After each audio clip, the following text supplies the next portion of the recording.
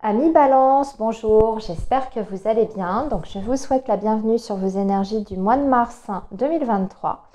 Alors ce mois-ci, je vous propose un, tirage général avec le tarot psychique, ici, voilà.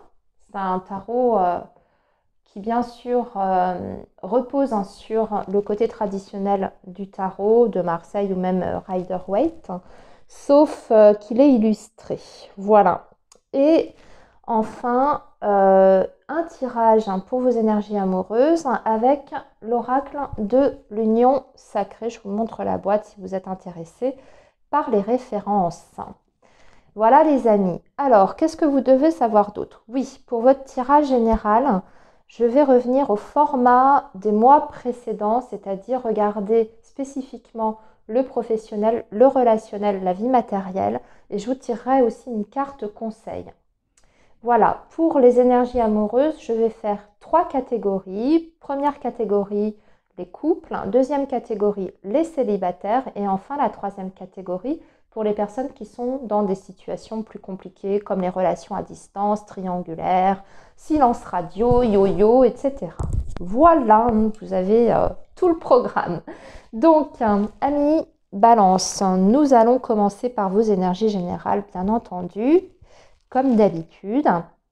Et on va voir quels sont euh, les messages importants pour vous pour cette période du mois de mars. Allez, c'est parti. Alors, le signe de la balance, mars 2023.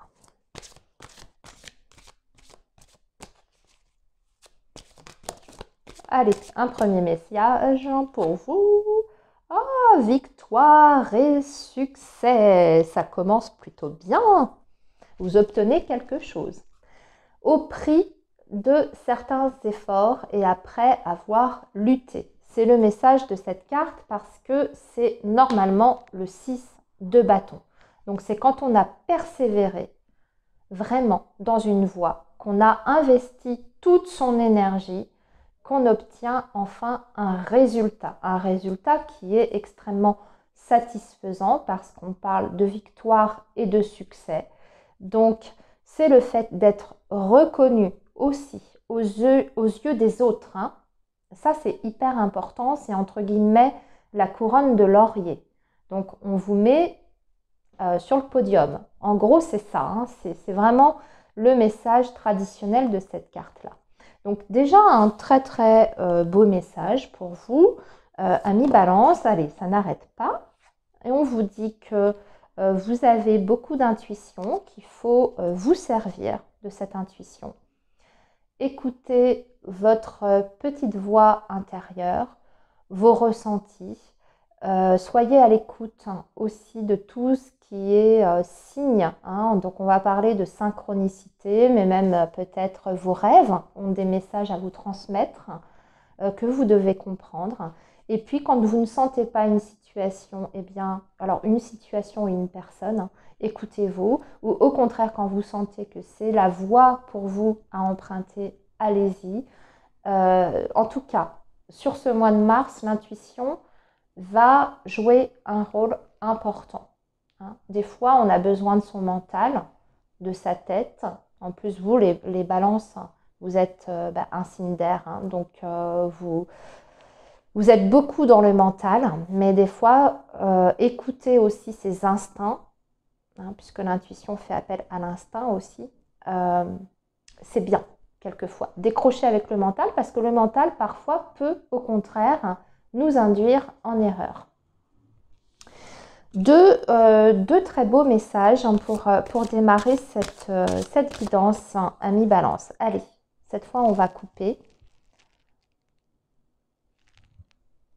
Qu'est-ce qu'on a ici? On a mécontentement et ennui. Bah alors, hein, vous vous ennuyez, vous êtes dans une certaine forme de routine par rapport à quoi? Ah oui, il y a quelque chose. il y a quelque chose qui tarde à arriver pour vous par contre. Donc ça, ça doit toucher un autre secteur de votre vie. C'est possible que ce soit sur le plan affectif d'ailleurs, parce que c'est normalement le cadre de coupe ici. Et le cadre de coupe parle de la vie amoureuse, sentimentale, affective. Alors peut-être que sur le plan relationnel, il ne se passe pas grand-chose. euh, qu'il n'y a pas forcément d'évolution. Soit vous vous ennuyez dans une relation déjà existante. Euh, c'est possible, hein. vous pouvez ressentir le poids du quotidien, de la routine. Euh, on n'est plus dans cette énergie de séduction du début. Voilà, il y, a quelque chose comme ça. Il y a une insatisfaction en tout cas qui est ressentie. soit c'est euh, bah, vous êtes célibataire et puis euh, la rencontre amoureuse se fait attendre. Et c'est quelque chose qui commence petit à petit. Alors on n'en est pas encore. 4 euh, de coupe, c'est pas une énergie qui est forcément où on est dans le, le down. Vous voyez ce que je veux dire Où c'est extrêmement mal vécu. C'est pas ça. C'est juste que bah voilà, ça commence à faire un petit peu longuer et, euh, on, aimerait que les choses, euh, les choses bougent un peu dans notre vie. Voilà, c'est plutôt comme ça qu'il faut ressentir cette énergie. Ok, bon, bah on a eu déjà pas mal de messages pour vous, les balances. Allez, maintenant on va y aller quand même hein, par, secteur. J'ai déjà beaucoup parlé. Allez, trois cartes pour votre vie professionnelle. Trois cartes pour votre vie professionnelle trois cartes justement pour votre vie relationnelle. Alors quand je dis vie relationnelle, bien sûr, ça peut être la vie affective, amoureuse, mais ça peut être autre chose. Ça peut être les voisins, les amis, la famille, les enfants.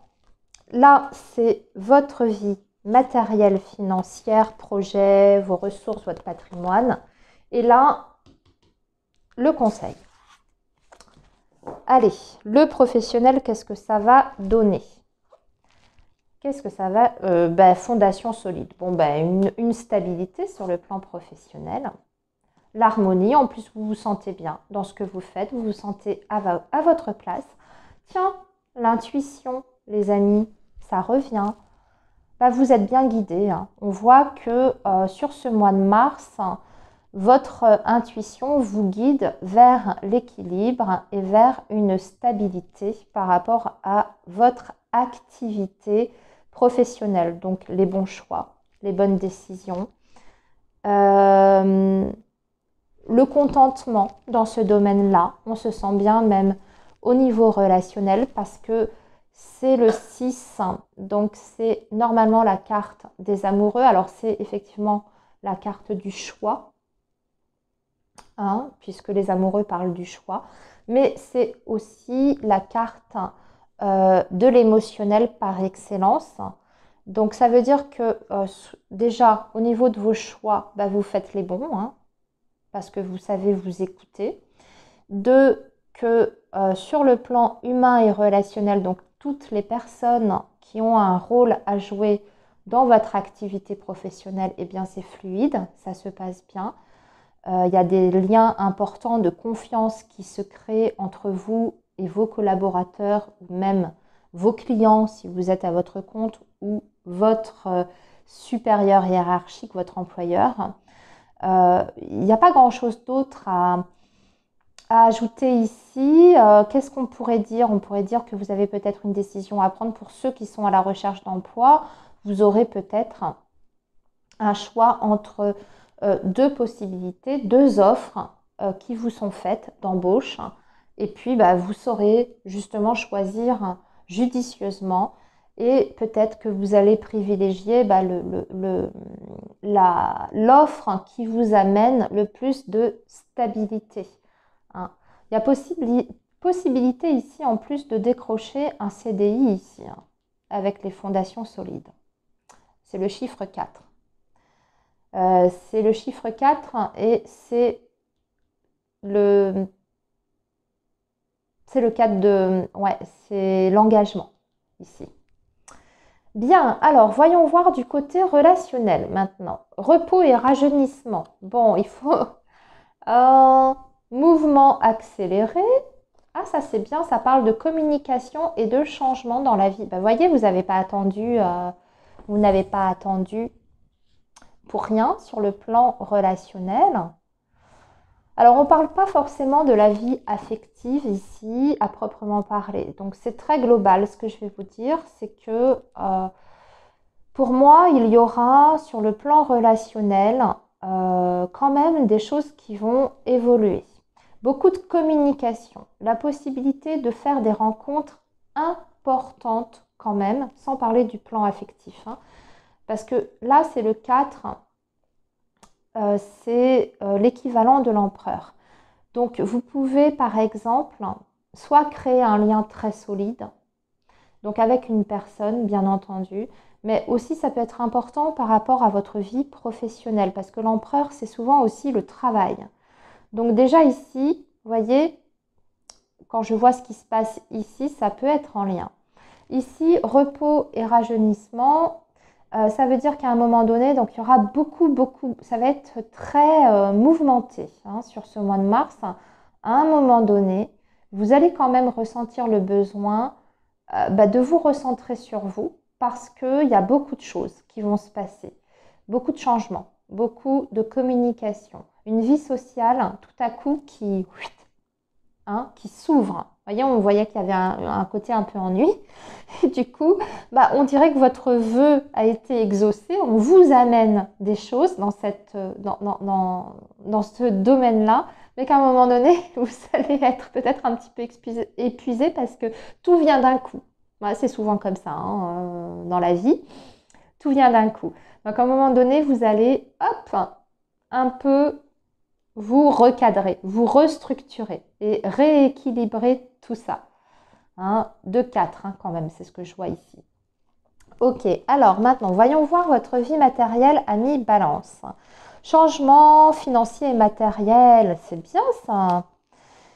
Nouveau commencement, oui, le nouveau départ. Patience et planification. Patience et planification pour un nouveau départ, une nouvelle aventure professionnelle avec des changements financiers et... Euh, euh, qu'est-ce que je dis? Non, pas nouvelle aventure professionnelle, plutôt nouvelle aventure matérielle avec des changements financiers et matériels.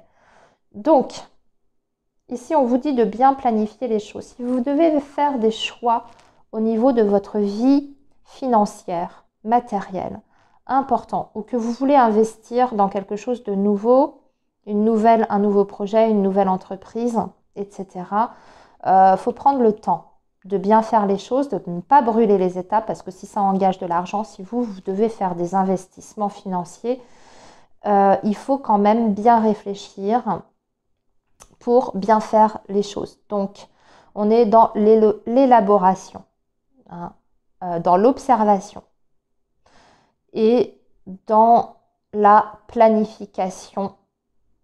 Donc, on fait les choses dans l'ordre. Ça, c'est hyper important.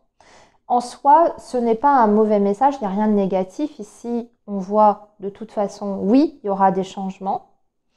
Tout dépendra de la façon dont vous allez les effectuer, ces changements. Mais il n'y a pas de difficulté qui, euh, ressort, en tout cas, dans ce domaine-là.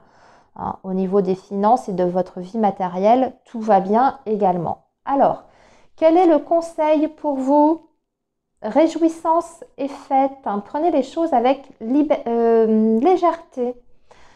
Euh, prenez le temps aussi, accordez-vous du temps pour... Alors je sais, ça peut paraître un peu contradictoire parce qu'on vous dit repos et rajeunissement, mais euh, vivez aussi des moments de plaisir. Faites-vous plaisir. Hein. Octroyez-vous ça. C'est hyper important. Soyez quand même au contact des autres hein, parce que le 3 de coupe, c'est se réunir avec les autres, c'est faire partie d'un groupe. Hein. C'est le cercle amical aussi. Donc, il faut, en fait, c'est ça, c'est ce que je vous disais, c'est trouver un juste équilibre entre la vie relationnelle et votre besoin à vous euh, quand votre besoin à vous pour, pour être euh, toujours au mieux de votre forme. Donc, vous octroyez des moments de pause, hein, c'est ça. Et puis aussi des moments où vous êtes au contact des autres. Voilà, c'est ça en fait le, conseil qu'on vous donne. Hein. Il ne faut pas pour autant euh, oublier aussi bah, votre cercle amical et oublier de vous faire plaisir profondément. Hein. J'ai parlé des amis, mais ça peut être tout ce qui est activité. En général, c'est quand même avec d'autres personnes. Moi, je sais pas, euh, des week-ends, euh, de la marche à pied avec des gens, euh, un sport que vous faites avec une personne, avec un collègue, ce genre de choses. Hein. Bon, bah, vous avez un très beau message, ami Balance. Allez, on va passer maintenant à votre vie amoureuse. On va rentrer un peu plus dans le détail sur la vie amoureuse. On va voir ce qui va se passer pour les différents groupes que j'ai évoqués tout à l'heure en début de guidance. Alors,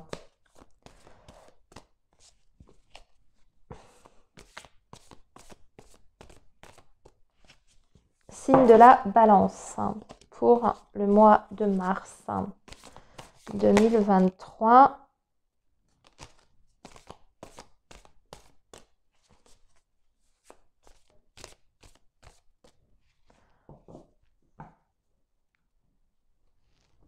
Et je vais tirer trois cartes pour chaque groupe. Donc ici, ce sera les couples, les balances qui sont en couple ou dans une relation euh, normale, hein, dite normale.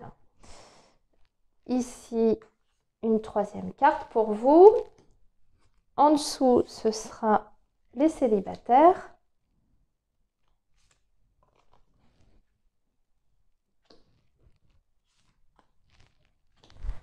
Et ici, ce sera les situations compliquées, les relations euh, difficiles, complexes.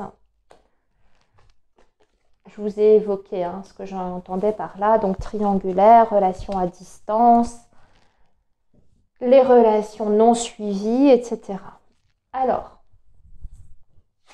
les couples, la rencontre, la patience, les cycles. Ben, vous allez faire beaucoup de choses à deux ici. Beaucoup, beaucoup de choses à deux.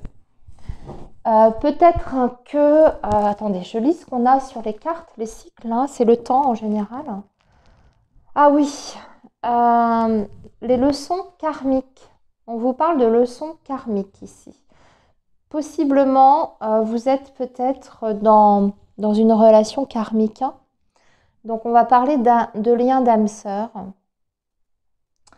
et euh, de lien de flamme jumelle ici, ou âme-sœur. Hein. Ah, ah. Donc il y a des choses à comprendre de cette relation que vous avez, les amis, des leçons à tirer, des enseignements euh, karmiques. Euh, si vous avez l'impression de répéter les mêmes schémas dans votre relation ou les mêmes types de comportements. Vous avez cette sensation. Il y a quelque chose dans votre relation amoureuse, de couple, qui se répète en tout cas. Ou alors c'est les difficultés, un certain genre de difficultés dans votre relation qui a tendance à se répéter. C'est parce qu'il y a quelque chose de karmique. En tout cas, euh, c'est euh, la cause. Ici, on vous parle de patience, de prendre son temps et de ralentir le rythme. Et la rencontre, ouvrir son cœur. C'est une carte qui parle avant tout d'ouvrir son cœur. Donc soyez euh, à l'écoute de l'autre. Soyez à l'écoute des besoins de l'autre, de vos propres, sans oublier vos propres besoins aussi. C'est ce que je ressens euh, de ce message. Bon, il euh, n'y a rien de négatif ici. On vous demande juste de prendre conscience hein, dans votre relation euh, qu'est-ce qui pourrait être karmique et qu'est-ce qui pourrait justement bloquer des blocages, causer des blocages. Parce que la, patience, quelquefois, c'est quand les choses ont du mal à, à être fluides et à se débloquer. Par exemple, vous avez un projet avec votre compagnon ou votre compagne et puis c'est un petit peu long à se mettre en place il y a quelque chose de karmique. Ok, on va maintenant regarder, je retourne ça pour ne pas me perturber, les balances. On va regarder maintenant ceux qui sont célibataires, hein, l'ignorance, hein, qu'est-ce que c'est que ça Le pansement et le regret. Oh, vous avez des regrets par rapport, à une euh, relation du passé? Oui, le regret, une remise en question, période de remise en question. Euh, vous vous sentez extrêmement seul, ami balance, vous avez l'impression que les autres vous ignorent, que euh, vous êtes un peu invisible et vous êtes en pleine remise en question. Donc une grosse période d'introspection qui fait ressurgir à la surface euh, bah, des blessures et surtout cette remise en question vous, vous ramène à des relations du passé que vous regrettez peut-être ou vous avez l'impression de ne pas avoir agi euh, comme il fallait ou vous n'aviez pas eu le comportement adéquat face à telle situation ou à telle personne.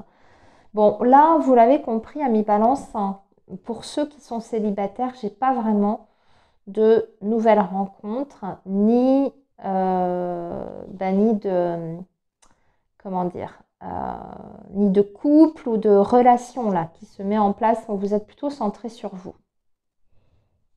Malheureusement, j'ai pas d'autre chose à vous délivrer ici pour ce mois de mars à mi-balance. Nous allons maintenant euh, passer aux personnes qui sont dans des relations difficiles. Période de séduction, la jalousie. Vous avez envie de rendre jaloux et le violon. Alors, euh, bon, ok. Il y a une peur de perdre l'autre ou l'autre a peur de vous perdre. Hein. Donc du coup, on se remet dans une, euh, dynamique de séduction, de vouloir euh, reconquérir l'autre. Mais c'est motivé par un sentiment de jalousie ou de possessivité ici. Hein. le violon, c'est les belles paroles et les promesses. Mais attention, ça peut être aussi des excuses. Mais attention, ça peut être des promesses non tenues. Hein. Le violon, vous savez, c'est quand quelqu'un, enfin, vous connaissez euh, la métaphore. Hein. Euh, donc attention à ça. En tout cas, euh, il y a une dynamique de vouloir se séduire, mais en même temps, on voit qu'il y a quelque chose derrière qui n'est pas quand même très très très sain. Hein parce que ça part d'une intention assez individualiste. C'est comme si il y en a un de vous qui euh, surtout est nourri par cette peur, cette crainte que l'autre puisse lui échapper. Donc attention à ça.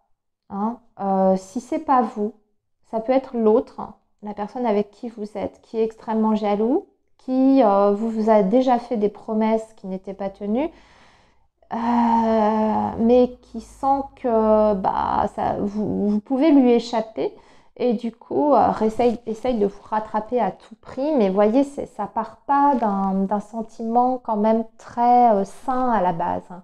C'est plus au niveau de l'ego là, ici. Hein. Ok les amis, eh bien, j'ai terminé pour ce mois de mars. Je vous souhaite une très très belle période. Euh, surtout, prenez bien soin de vous. Et puis, euh, nous, on se retrouve le mois prochain sur la chaîne. Euh, voilà, j'ai terminé avec votre guidance. À très bientôt, les balances.